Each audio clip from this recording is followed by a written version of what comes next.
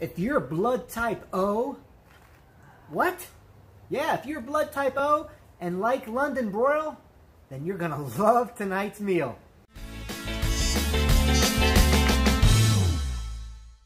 So tonight's recipe is actually provided by my good friend Liz Bull. And Liz works with smart, busy women that have been struggling with uh, weight loss and helps them lose the weight that they want to lose. What she does is she gets to the real reason for the weight and allows it to be released. Liz likes to cook, and just like me, she believes that delicious food can be made without hours and lots of time and struggling in the kitchen. You can get more of her delicious, easy peasy recipes by going to her website, lizbull.com, L-I-Z-B-U-L-L.com.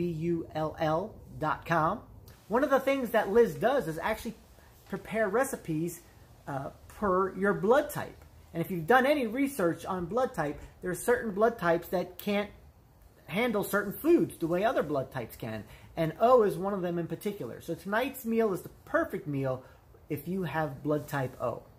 I really love this recipe because it's turning out to be much easier than I thought it was going to be. It does take a little bit of preparation if you really want it to turn out best. What you have to do is you have to marinate the steak overnight.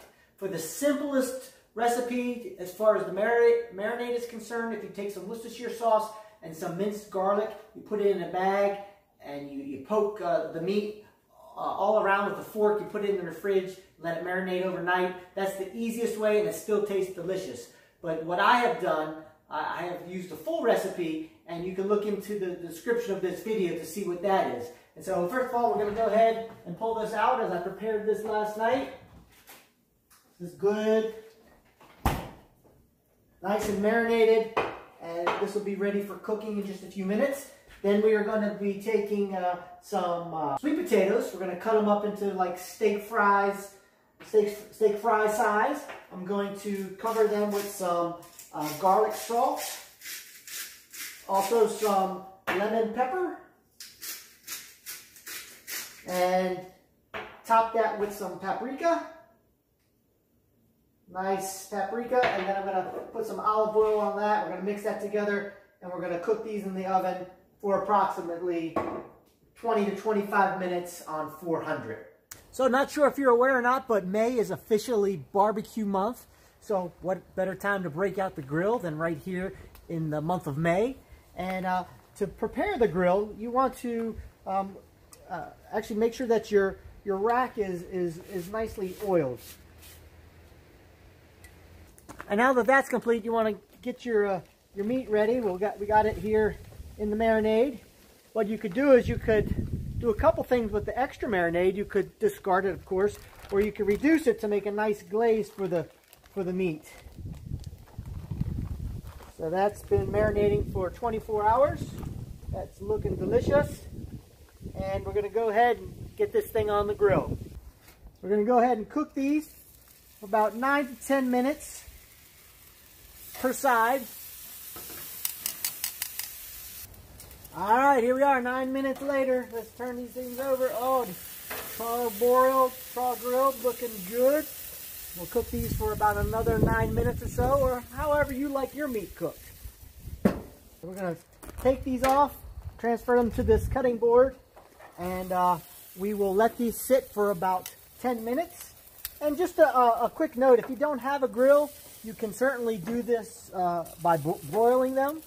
Um, it's not as fun, at least in my opinion. Uh, but nonetheless, we'll let this sit for 10 minutes, and then we're going to go ahead and cut these across the grain. Back inside, and look at this. You want to cut it against the grain.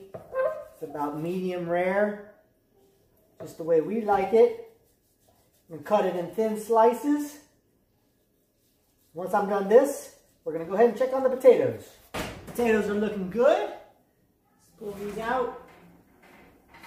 These are the sweet potato fries, ready to rock. All right, so the next thing we're to do is we're to create the dressing for the salad.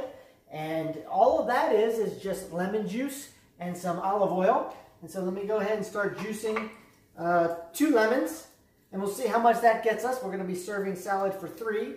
Um, and I will determine once it's complete if we need more lemons.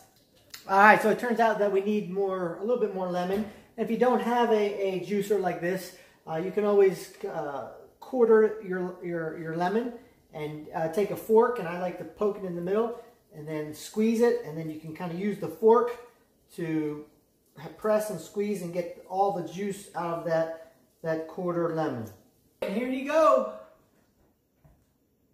Perfect blood type O meal, London broils with a side salad, sweet potato fries.